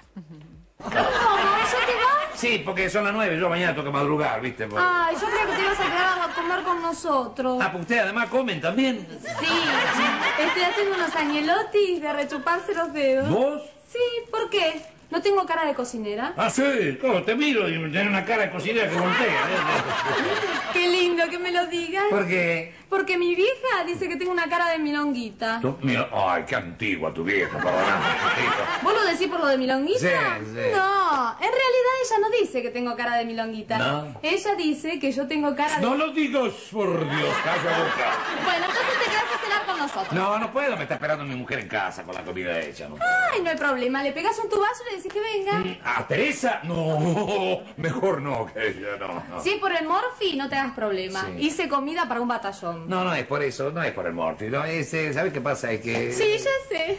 Es por mí. No, no, no, Rosarito, no es por vos. Lo que pasa es que... Yo sé que tengo pinta de loca. No, pues sos loca, ¿qué vas a tener pinta de loca? Pero no te hagas problema, ¿eh? Hiervo los y me voy. Pero para acá, no te enojes, ¿qué te hice yo? Escúchame, pero... Te pego un tubazo. ¿Cómo me gustó? Te pego un tubazo. No, y aparte eso era porque yo tenía que hacer eh, chica no estudiosa. Entonces, este, eh, ese era el, el concepto en ese momento de, porque De- en ese momento se hablaba correctamente, ¿no? Ahora es común eh, hablar así. Igual cuando vemos lo- los parlamentos, el lugar de la, de la mujer y demás, después de, de todo lo que has sufrido en tu infancia y demás, y además te he visto hablar ahora sobre violencia de género y demás, obvio que no podemos analizar con la mirada de hoy los discursos del teatro de Darío Vittori, que era lo más blanco de la tele de esa Menos época, el si programa de querés. Porcel. Menos. Eh, pero bueno, ¿qué te pasa cuando ves desde ahora para atrás todo aquello, digamos? ¿Qué sentís que hay un grupo de mujeres que en el mundo del espectáculo fue... Pero bueno, insisto, no hay que mirarlo con los ojos de hoy. Me parece Claro. que en aquella época era dominante, en el discurso dominante, ese era el lugar para el humor de la mujer, digamos. Tal cual. Eh, eh, yo soy muy de aceptar. Entonces, acepto que era una época distinta, acepto que, que era... eh, he sido acosada, acepto que, eh, que he tenido la, la responsabilidad por ser joven, no me importaba nada y tenía la posibilidad de mandar a la puta madre que lo parió a cualquiera, Claro. que fue lo que hice. Em, Después empezó eso a, a limitar, como diciendo, no tengo para comer y no hay tanto trabajo. Mm. Yo estuve en una época Sí. donde eh, sufrí el acoso, pero había trabajo a morir. Entonces, si me echaba a él, Este, me ¿qué iba me al importa? otro. Me voy Claro, al ¿qué otro me importa? lado, claro. He tenido tres o cuatro acosos, no, no más. Eh, y hoy lo veo como, digo, bueno, es una época donde tuvimos que transitar para, para poder hoy darnos cuenta de que esto no así no sigue más. Entonces eso acepto, ¿no? De decir, bueno, era una época que esto a mí me divertía, yo disfrutaba haciendo eso. Ese personaje lo creé yo y digo, bueno, era, el- era el chip que tenía en ese momento y que teníamos todo. ¿Acoso era A también nivel- a cambio de trabajo? Eh, algunos sí, otros no. Otros para ver, Si no aceptabas, te ibas del trabajo. claro, uno fue para representarme, el otro era para, para no, no me pidió nada a cambio, pero ¿me entendés? Y, ¿Y qué pasaba en esos momentos donde no había laburo? no, ella ahí ya estaba grandecita, yo ya no me acosaba. Ah, no, no, no, no, digo porque uno muchas veces, no porque uno va a aceptar el acoso, Claro. pero de repente tiene que aceptar co- eh, cosas o papeles o lugares que vos decís, uy, yo pucha, estuve en, en tal lugar y ahora tengo que aceptar esto, pero bueno, es una cuestión de que tengo que ganarme el mango. Claro, no, eso no lo, no, no lo sufrí. Sí vi, eh, de repente uno sabe, viste, vos estás en un set y vos ves, y en los años que tenemos de televisión, de Sí. teatro, todo, uno huele y decís, qué pena, ¿no? Yo, por ejemplo, me doy cuenta, como también es el negocio este artístico, que vos hoy estás allá arriba, mañana no, Sí, y claro. te tenés que acomodar, porque, o sea, hay alguien que está más arriba que vos. Y, entonces te van a dar un papel menor que artísticamente y por tu carrera te tendría que dar uno mayor y decís, bueno, no importa, por lo menos estoy haciendo esto y voy a pegar algo para poder otra vez ubicarme en ese lugar, si puedo, si no. Pero, pero en realidad yo después de los a los 30 fue el último acoso que tuve, que fue en una novela que no trabajé nunca más en esa novela. Nunca Mi más fue. personaje se murió, Se en off. En off, Claro. ni siquiera en cámara. En off se murió. Sí. ¿Quién Y- era? ¿Alguno de los actores o el director de la No, novela? no, el, el director, dueño de la- productor, la- dueño, todo, sí, sí. Todo, sí. etcétera. Y una, Ojo, compañera del programa de Porcel que hacía, ¿te acordás cuando era la- la- el kiosco de revista? Sí. Pasaba una actriz con el, con el viejito, que era la- su acompañante, y ella había estado en la, en la novela y me dijo, ojo que me pasó esto y esto. Le digo, ay, luego, qué pena, a mí realmente se me partió el corazón. Y después cuando me pasó a mí, Dijiste, Dije- ah, esto es un modus operandi. Dijo, nunca más vas a trabajar en ninguna de esas producciones. Dicho y hecho. Y yo iba y le decía, vos te enojaste conmigo. Y me decía, no, no, no, no. no. Igual no produce más ahora. no, vos sabés que... Me imagino. Bueno, vos sabés que yo estoy promocionando mi unipersonal. ¿Y Sí, vos- te quiero ir a ver. Bueno, y vos también hiciste Sí. un unipersonal. Contame esa experiencia. Ay, fue fantástico. Porque el Hice- es diferente a actuar. ¿Por qué? Porque uno rompe la cuarta pared. Entonces quiero que me cuentes todo, cómo llegaste al unipersonal, eh, qué te pasó transitar eso. Sí, fue una experiencia grandísima. Fue de Claudio Godbetter, que eh, hace, tiene unos- un- un- una forma de escribir muy especial y ahí no podés masticar. O sea, la letra la tenés que decir exacta. Y era eh, yo sola todo el tiempo desde un personaje que eh, vendría a ser eh, lo que tenemos dentro, que es la culpa, la angustia, todo Ah. eso. Desde ese, ese personaje que está en camisón y que todo el tiempo se está cuestionando lo que va a hacer, lo que no va a hacer, si está bien hacer esto, si está bien hacer el otro. Esa es Calita, que la amé. Dale, Karin, a ver, porque nos vamos a, vamos a ver un pedacito, ¿no es cierto, Ay, Karin? Sí, nos vamos al año 2010 a ver un poco de algunas escenas de, si alguien lo sabe, por favor que lo diga, este papel que hizo Sandra Villar- Villarroel de esta mujer que intentaba eso, conocerse y dilucidar si estaba despierta, si estaba dormida y qué le pasaba por dentro. Mira. Con el avance en el campo de las comunicaciones y la cantidad de satélites en órbita, en cuestión de minutos llegará a oídos de todo el mundo la noticia y no habrá sed en la tierra que no dé vuelta a la cara del verme y se encolumnarán en manifestaciones eh, eh, cu- multitudinarias corriendo para el lado contrario del que yo vaya, entonando cánticos como se siente, se siente, la que duda está ausente, oh, qué alegría, qué alegría, cómo vamos a ignorar a la ínfima nadería como medida de prevención. La industria farmacéutica multinacional no tardará en, en inventar algún antiúdico y protegerá a la gente de mi horrible negatividad dudosa con solo tres gotitas diarias y se encolumnarán en manifestaciones multitudinarias para reformar el preámbulo de la Carta Magna para nosotros y para todos los hombres del mundo que quieran habitar nuestra tierra, menos una que todos saben y no se puede nombrar y fundarán nuevas escuelas para inculcarle a los niños la que se acertada consigna. No la escuchen, no la miren, no la toquen, solo escapen. ¡Sí!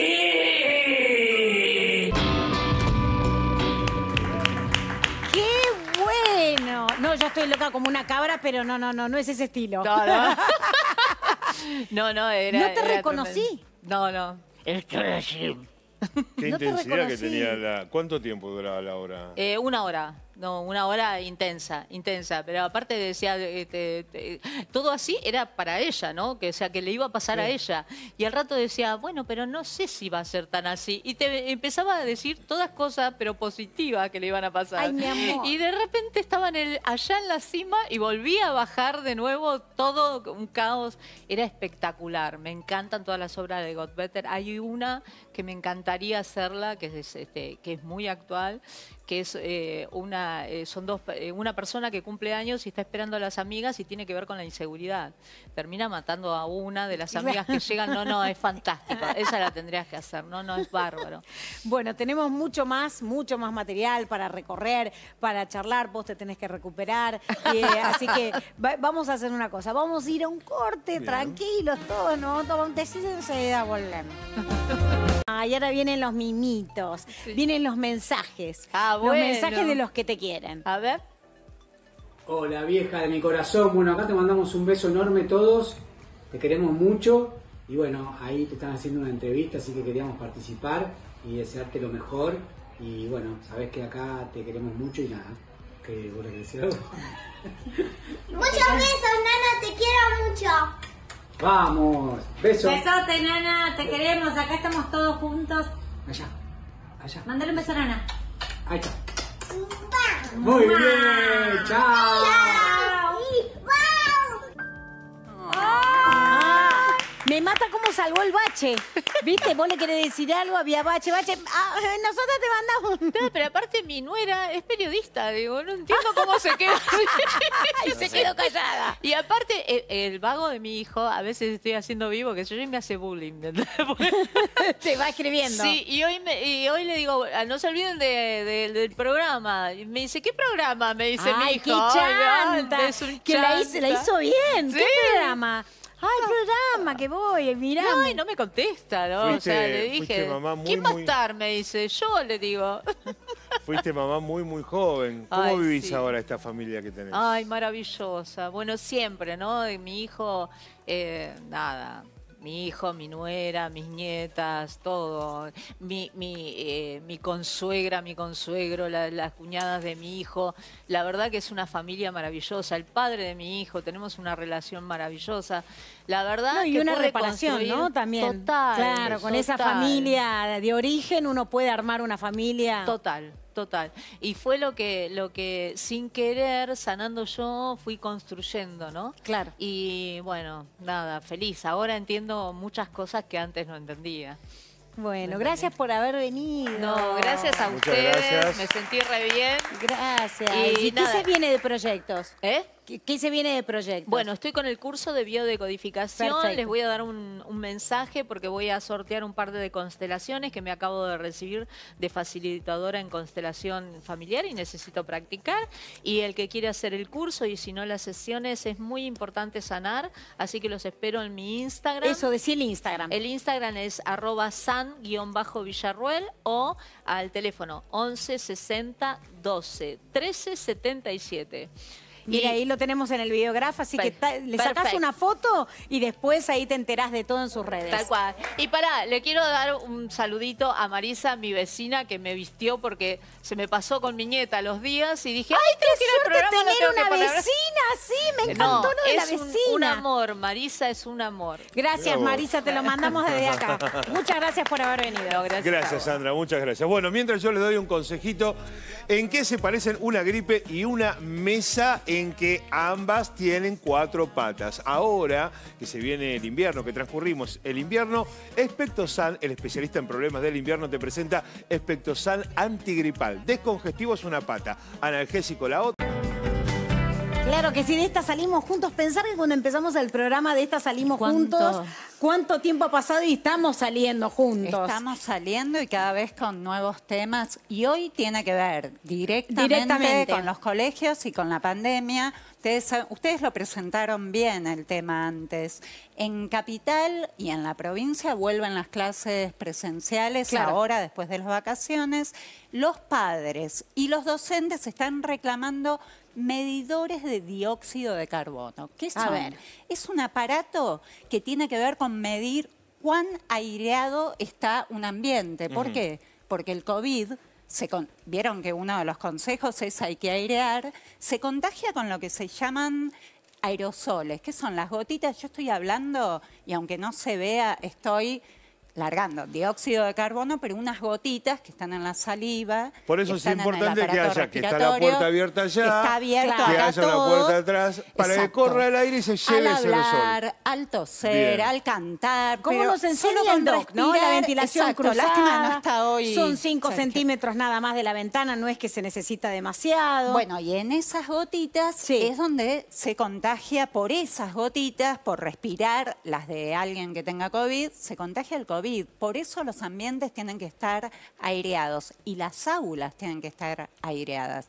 El gobierno de la ciudad no está comprando los medidores, en provincia sí se compraron. En el Colegio Mariano Acosta, uno de los más importantes de la capital, dijeron en la cooperadora, los vamos a fabricar nosotros, tienen un profesorado. Ah, técnico, es una escuela técnica. Los empiezan a fabricar. Acá empieza la campaña. Para agosto están juntando fondos, ayuda, el que se quiera sumar, materiales y también atención, las escuelas de capital que quieran también fabricar sus propios medidores, miren la nota, después les cuento. Perfecto.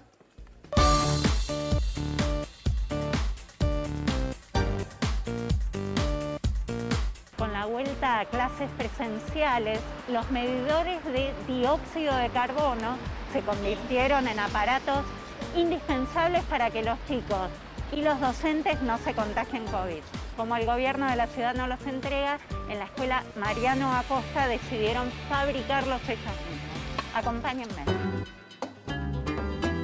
Luz Alberto del Colegio Mariano Acosta, la cooperadora, docente. Ustedes decidieron encarar el tema de estos aparatos para medir el dióxido. Contame.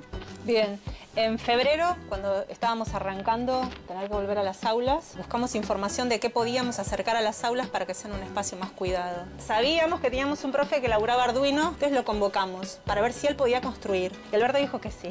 El medidor ahora está en verde porque estamos en el exterior. Exactamente, sí.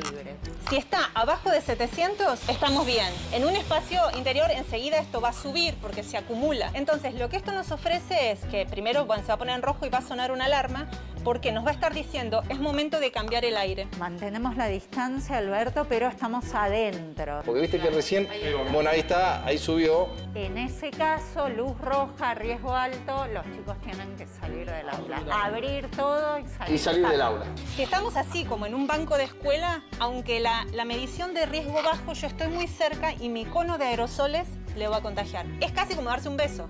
Sin distanciamiento, el medidor no hace magia. Ya compraron 33.000 y ya los distribuyeron. Ciudad de Buenos Aires se presentó un proyecto en legislatura porteña que no se trató. Es empoderarse de la tecnología, no es comprar un medidor para ponerlo en la pared y ya está. No, es empoderarme, entender cómo funciona, fabricarlo, Lo van a fabricar los chicos. Absolutamente.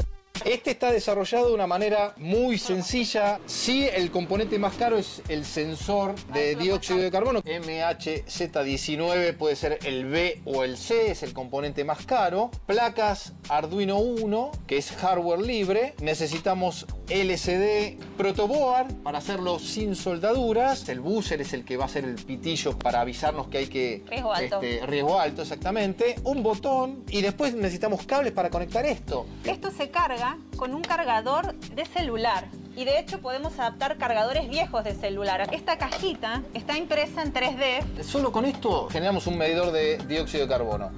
Ustedes además se están asesorando con el especialista español.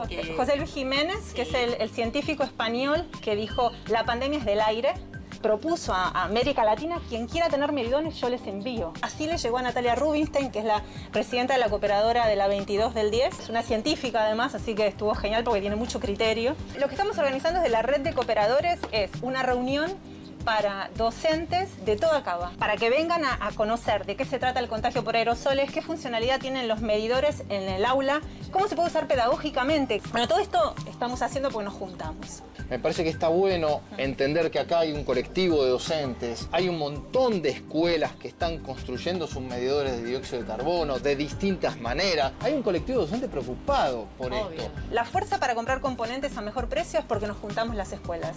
La fuerza para construirlos es porque las escuelas técnicas ofrecen su saber, porque los estudiantes del profesor de educación tecnológica ofrecen su tiempo para construir. Y eso lo que trae es que tenemos mucha alegría, la verdad. Es una fiesta. La verdad que en la cooperativa estamos muy felices, porque además la respuesta de la comunidad es muy fuerte eh, cuando uno logra movilizar así, ¿no? Bueno, felicitaciones a esta gente, Claro, felicitaciones. Sí, la verdad, algo que no dijimos antes de poner la nota es que esto sirve por el tema del COVID para saber detectar si en el ambiente donde estamos está bien ventilado o no. No, no, si se prende rojo hay que salir, abrir Y las abrir, ventanas, y abrir después las de puertas. un rato volver. El que quiera colaborar, sea con dinero, tecnología, importación, lo que sea, o quiera llevar a su escuela, porque puede estar mirándonos Sí. el padre de una escuela que no tiene esto. O una Eh, escuela técnica una que diga, escuela "Voy técnica a que diga, Vamos a capacitarme llevar a los para chicos hacer a eso". hacer aprender, esto. sí. Es medidores para Cava, creo que está ahí está, Sí. Sí, está arroba gmail.com y hay un Facebook, medidores de CO2 para las aulas de Cava. ¿Precio? Muy importante y me parece. Bajaron, sale en el mercado 25 mil pesos. Hasta ahora ellos con 7 mil lo fabrican, quieren bajarlo también el precio. Por Dice, si supuesto. alguien nos da los, o nos ayuda a conseguir los materiales más económicos, más barato va a ser. Bueno, muchísimas gracias, Sandra. buen La semana Sandra. que viene Bueno, ahora les quiero dar un consejito si se sentís rigidez articular frecuentemente. El colágeno es la proteína más abundante en cartílagos, tendones, ligamentos y huesos. Desde los 25 perdés cada año un 1.5% y por eso sentís cada vez más molestias. Artrostop, el especialista, trae a la Argentina como la Cenicienta, no a 10 de las la 12, pero a las 22. Una semana más hemos cumplido. Un placer nuevamente estar con Muchísimas usted. gracias. Le mandamos un saludo a Julián que se recupere. Nos vemos el próximo sábado.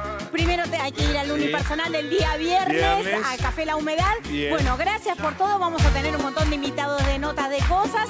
Así que Un gusto, Caro. gracias. Chao, hermosos. Adiós. Hasta el sábado a